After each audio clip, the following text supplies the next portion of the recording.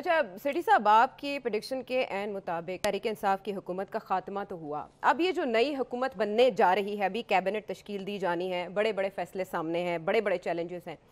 कैसे देखते हैं आप इस हुकूमत का मुस्तबिल और इब्तदाई तौर पर क्या समझते हैं आप, क्या अहम होगा?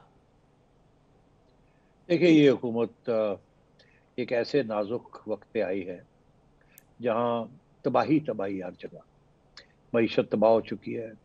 सिविल मिलिट्री रिलेशन तबाह हो चुके हैं।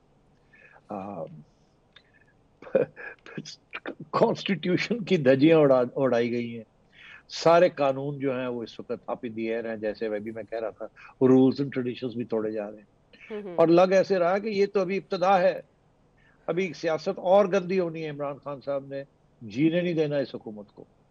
उनकी पूरी कोशिश हो कोशिश हो कि इसको डिस्टेबलाइज करके रख किया जाए ताकि ये अपने पाँव जमा ही ना सके और किसी किस्म की सहूलत या किसी किस्म की डेवलपमेंट कर ही ना सके अवाम के लिए।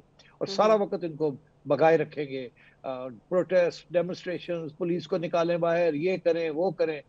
और आपको पता है कि जब डेमोस्ट्रेशन होते हैं तो उस वक्त सूरत हाल बड़ी नाजुक होती है कि अगर कोई गलती हो जाए या कोई आ, मसला बन जाए या कोई एक्सीडेंट हो जाए तो वो सारे का सारा गवर्नमेंट के ऊपर बोझ बन जाता है और और भी फिर गड़बड़ होती है। तो इसलिए बहुत टेंस सिचुएशन इमरान खान साहब क्रिएट करके गए हैं हम्म, हम्म। और आगे करने जा रहे हैं। वो आपके बाद में डिस्कस कर लेते हैं।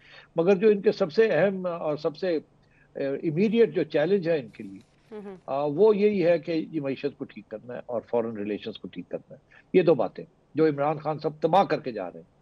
इस वक्त स्टेट बैंक के जो रिजर्व्स हैं वो सिर्फ़ दो महीने के लिए आपके पास पैसे हैं इंपोर्ट करने के लिए सिर्फ़ दो महीने के लिए। और मीशत की जो ग्रोथ है वो इस इतनी इंस्टेबिलिटी हुई और आगे अगर इंस्टेबिलिटी ऐसी चलती रही तो आ, आ, आज जो स्टॉक मार्केट बढ़ी है एक show of confidence in Shahbaz Sharif and Noon government सत्रह सौ पॉइंट्स बढ़ गई आज। अनबिलीवेबल अनबिलीवेबल और इमरान खान साहब गए हैं तो बैठ ही रही है वो और जाते जाते बैठा गए स्टॉक मार्केट को और बिज़नेस कॉन्फिडेंस को।